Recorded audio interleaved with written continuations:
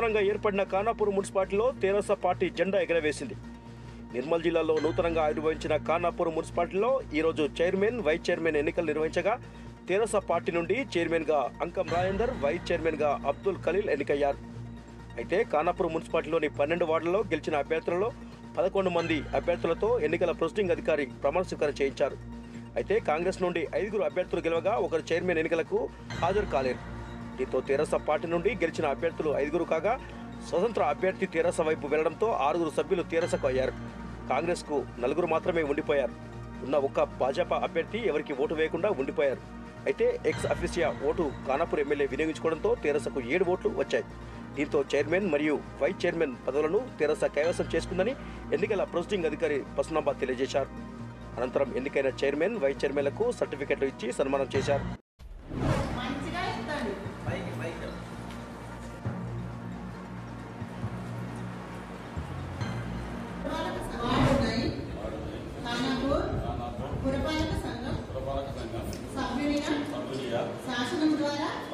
ద్వారా నిర్మితమైన నిర్మితమైన భారత భారత రాజ్యాంగం పట్ల రాజ్యాంగం పట్ల నిజమైన నిజమైన విశ్వాసము విశ్వాసం విధేయత విధేయత చూపుతానని చూపుతానని భారతదేశ భారతదేశ సార్వభౌమాధికారాన్ని సార్వభౌమాధికారాన్ని సమగ్రతను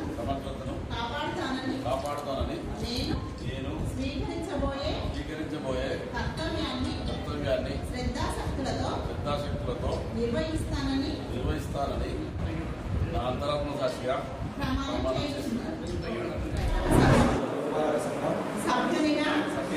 శాసనం ద్వారా సమగ్రతను కాపాడుతానని నేను స్వీకరించబోయే కర్తవ్యాన్ని కర్తవ్యాన్ని శ్రద్ధ శ్రద్ధ ఆసక్తులతో ఆసక్తులతో నిర్వహిస్తానని నిర్వహిస్తాను నా అంతరాత్మ సాక్షిగా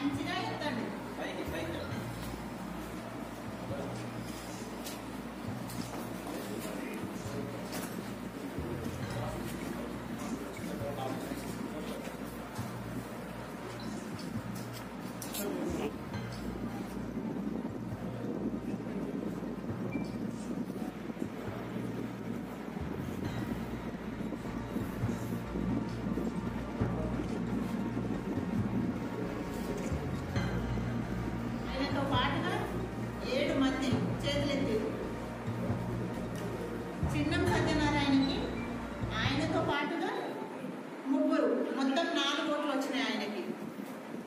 వీళ్ళకి మొత్తం ఏడు. బీజేపీ నుంచి ఆమె నాయని శ్రీవతి గారు ఆమె అసలు ఎవరికి ఓటు చేయలేదు. తటస్థంగా ఉన్నారు. సో ఈ ఎలక్షన్ ఈ ఎన్నికలో అత్యధికంగా గెలిచింది అంకం రాజేందర్కే ఉన్నాయి. సో ఈయన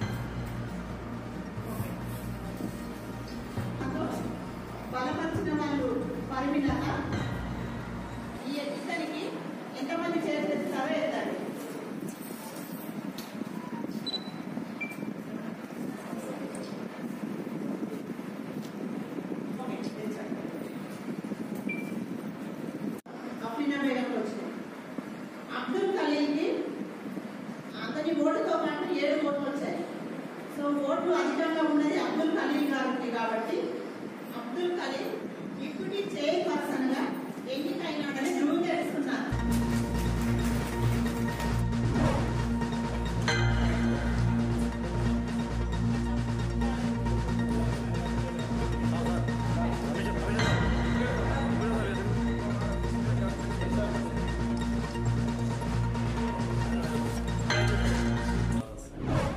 ఈ నేపథ్యంలో కానాపూర్ ఎమ్మెల్యే మాట్లాడుతూ ముఖ్యమంత్రి కేసీఆర్కు ధన్యవాదాలు తెలుపుతూ కానాపూర్ మున్సిపాలిటీలో గులాబీ జెండా ఎగరవేస్తామని ఎప్పుడో చెప్పామని ఎమ్మెల్యే తెలిపారు.